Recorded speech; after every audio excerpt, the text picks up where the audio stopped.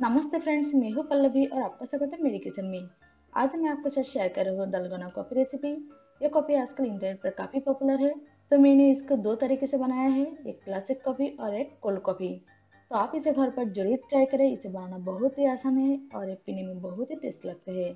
अगर मेरी रेसिपी आपको पसंद है तो लाइक एंड शेयर ज़रूर कीजिए। डालगोना कॉफ़ी बनाने के लिए यहाँ पर मैंने एक बाउल ले लिया है। इसमें जा रहा है दो ब्रश इंस्टेंट कॉफ़ी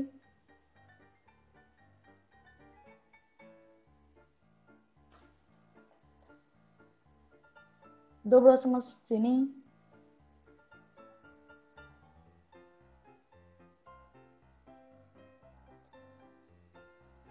और दो बड़ा चम्मच गर्म पानी आप इसे गर्म पानी डालें।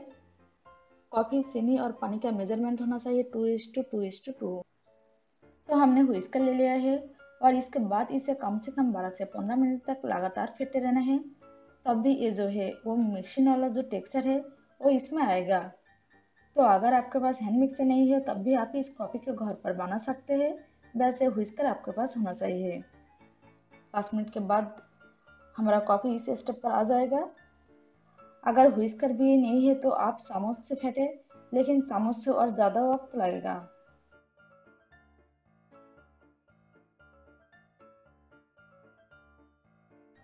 इसे हमें तब तक फेंटना है जब तक ये हुइस्कर पे ऐसे ये जो कॉफ़ी है ये चिपक नहीं जाए। गिरना नहीं चाहिए। ये देखिए, ये होल्ड कराया है यहाँ पे हुस्कर को। मतलब ये हमारा कॉफ़ी जो है, ये परफेक्ट हिट हो चुका है। तो यहाँ पर मैंने एक ग्लास ले लिया है। इसमें कुछ आइस क्यूब्स डाल दे।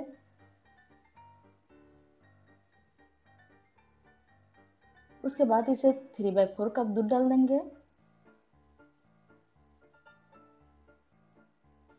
अब हम क्या करेंगे? ऊपर से हुई कॉफ़ी डाल देंगे।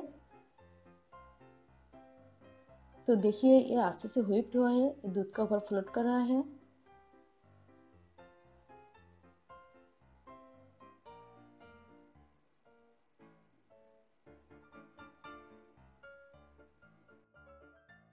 ऊपर से आप कॉफ़ी पाउडर, चॉकलेट सिरप या फिर चौका चिप्स डाल के इसे गार्निश कर सकते हैं, ताकि देखने में और भी अच्छा लगे।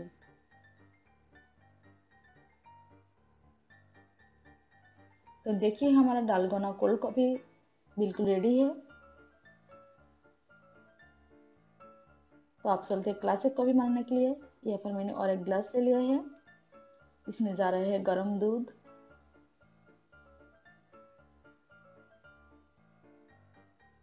ऊपर से हम व्हीप कॉफ़ी डाल देंगे।